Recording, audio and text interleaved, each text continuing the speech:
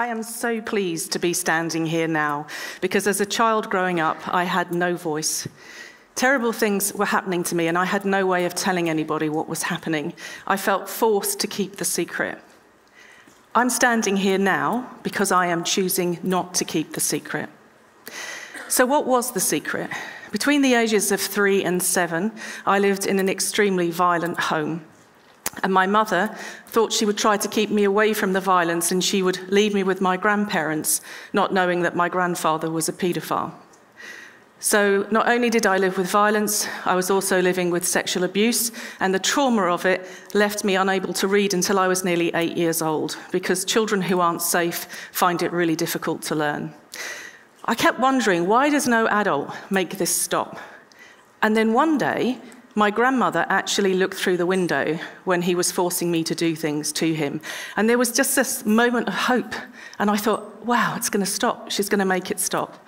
But she didn't make it stop. She went mad and she screamed at me and told me that I was a wicked child and I made it happen. And if I told anybody that I would be taken into care and taken away from my mother. And so I kept the secret.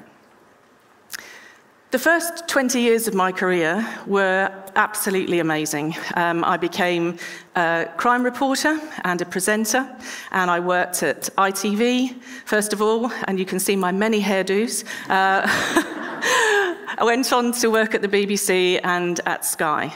And I had an amazing job. It's the best job in the world. I loved it. And I loved being a crime reporter, giving people a voice and challenging abuse of power and authority. Um, and it was a really glamorous job. I had makeup artists and drivers, and it was amazing. But I didn't feel glamorous because underneath I felt that I somehow was really ugly and I felt isolated and I kept the secret. And I think I continued to keep the secret because, on some level, my grandmother had put into my subconscious that this was all my fault. And so, although I had this amazing job, I carried around this terrible secret. And then something changed my life. I had a car crash on my way to work, on my way to the BBC studios. I had a head on car crash and I nearly died. And actually, when I came round after the steering wheel had hit me in the face, um, I actually didn't know if I was alive or dead. And there was this eerie moment, and my very first thought was that I was completely desolate because I wouldn't see my wonderful husband Neil ever again. But the most overwhelming feeling was that I, I had done nothing that would have made a difference. That actually nobody would have known that I'd been on this planet. Even though I'd had the most incredible job, I wasn't leaving anything behind, and I didn't have my children then. But it was, I was just so disappointed in myself. I felt like I was in a video game. Like, no, I can't be dead. I haven't done anything. And so I promised myself and I promised God that if I survived, I would do something different with my skills. And I truly believe that when you change the way you think, you create new opportunities. And what I realized in this moment, I started to think about what would have made a difference to me when I was growing up. And definitely, what would have made a difference would have been having somebody to talk to, but not just having somebody to talk to, but to have the words, to know how to ask for help. Because do you know what? You can't walk up to your teacher and say, Do you know what, miss? Every time I go and see my granddad, this is what happens to me. You, you don't have a way to communicate when terrible things are happening to you when um, you are a child. And so I thought, what made a difference? And the first thing that made a difference was my amazing grandmother, because my mum left my father because she knew that he was actually going to kill her. He tried to pour boiling oil on her, and that was the moment at which she realized that she would die if she stayed. So we went from absolute hell to live in this beautiful eight bedroom house that my grandmother owned. But what was amazing is she was such an incredible, strong woman.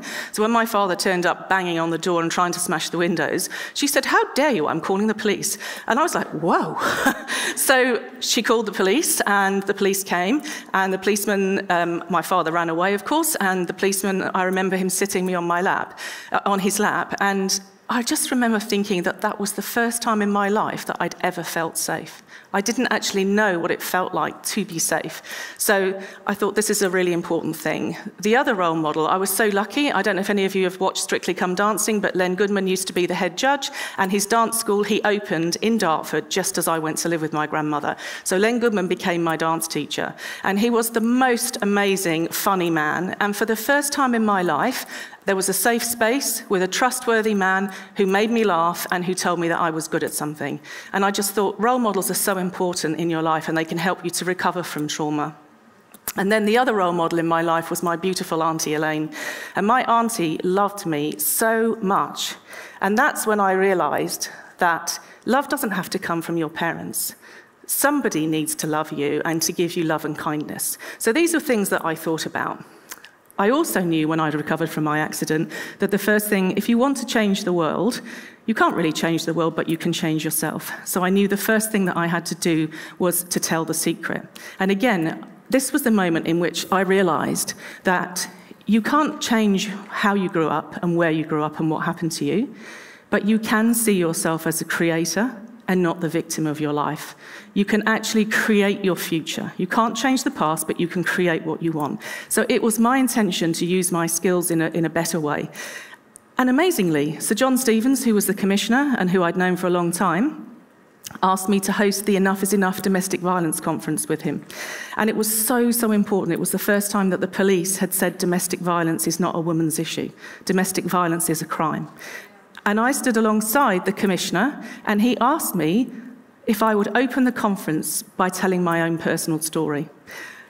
And there I told my secret for the first time. So, an amazing opportunity happened. He also asked me to start training community safety officers on the effects of violence and abuse on children. And frankly, I was a bit of a gift to the media because I could do a 30 second soundbite. I didn't mind having my face shown, and I was talking about things that the media like to talk about about violence and obviously the things that had happened to me. So I did go on a bit of a spree across the country, um, and then I realised what was the point in me publicly impaling myself all over the place if actually nothing was changing? So I, I was beginning to make a difference, but I wasn't actually doing anything. And so um, we decided, my husband and I, that we would open um, a homeless hostel. Again, we were offered another opportunity. Um, and in the hostel, I saw for myself, which I wouldn't have believed, learned behaviour. So I heard children being told, people like us don't get jobs, people like us don't have homes. I thought, who are people like us? We can create what we want. And so we start, I started to talk to children about what they dreamed of being. And I knew that this was possible to put dreams and aspirations. Because my grandmother, when I went to live with her, I couldn't read. And in the short space of living with her in the summer holidays, suddenly I learned to read and everything made sense. And she said to me, You know what? We were watching Thames News. She said, You read so well now, you could do that job like that man does. And I was 22 when I read the news with Andrew Gardner. And I just know that dreams and aspirations can be put into your mind. And so in our homeless hostel, I saw how quickly children could change if their thoughts were changed.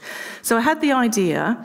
One of the other things that would have made a difference to me was having a friend, because I felt very different from other children. And so I decided to create a friend for children, the friend that I would have liked to have had. So I created Dot Com to be a cartoon friend to children. And I gave her um, all, uh, uh, all, of the things that I, I loved about the, the, friend that I would have liked to have had. And she's a friend to children. So that was the beginning. But then when I started to um, advise the police and look at how they were communicating their messages of safety, I realized that what was absolutely fundamental was how those messages were communicated. You can talk to children about anything if you create the right mechanism and the right environment. And so I created um, some journals for children. And the journals are a, a, journey for the children. And within the journals, we put some simple techniques to teach them how to communicate. And I believe communication, teaching children communication skills, is a fundamental skill. Because talking about your feelings is really hard, and it is something that you need to practice. And the earlier we practice it, the better we can be. And so I taught them uh, in the journals, they can ask for a dot com minute. A dot com minute is when you want to talk about things that frighten or worry you. I taught them about the helping hand so that they could create their own network of people they could turn to and talk to. So they were practicing who they could turn to if they felt unsafe or worried or frightened about things. I also taught them, Dot teaches them, feelings are just feelings. There are no right or wrong feelings. However, you need to stop, feel, think, and do because your behavior is a choice. So just giving them really simple techniques and then thinking about who can we tell and who can we talk to. And I am special, dot special, you are special like dot, and thinking about why you're special. That is your inoculation against grooming. Because groomers often are the first person that's told a child that they're special. So immediately they have that child in their thrall.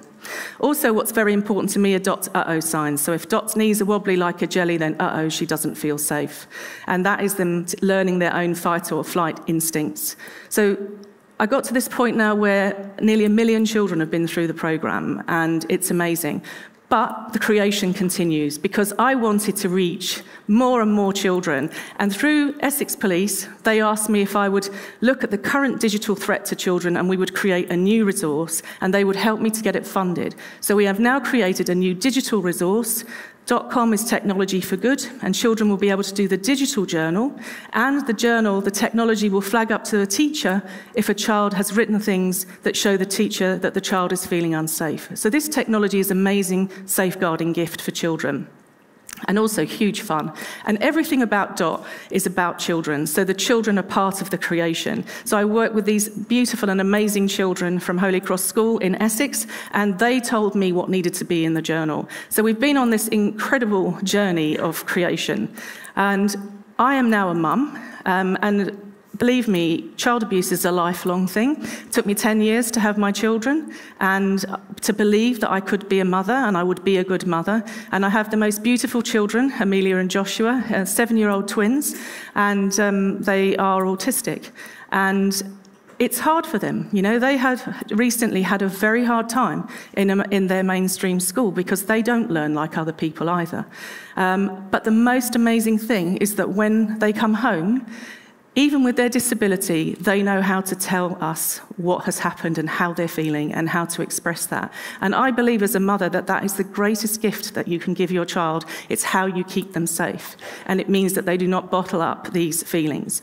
The last thing that I want to share with you, um, which is absolutely incredible, is that Dot Com is going to have her own well-being channel. Thanks to the most amazing guys at 2Simple, who already are in like 11,000 schools in 72 countries, Dot's going there. so I am so delighted. And I would like to ask all of you, anyone watching, I want you to help me to get this into every school that we can, um, as many people, but also to think about the children in your life and to, to think about can you be that safe person? Can you be that person that expresses your feelings to them and shows them, mirrors what they can do and helps them? So I suppose I'd like to just leave you. Um, with the final thought, but really teaching them. I know, because I'm an older mum, that I'm going to have to leave them, but at least I know that they can ask for help and they know how to talk about their feelings. So, I presume the next time I go to see St. Peter, it will not be a rehearsal. but he may not take me to heaven. However, I will know that I can rest in peace because I know I've made a difference. Thank you.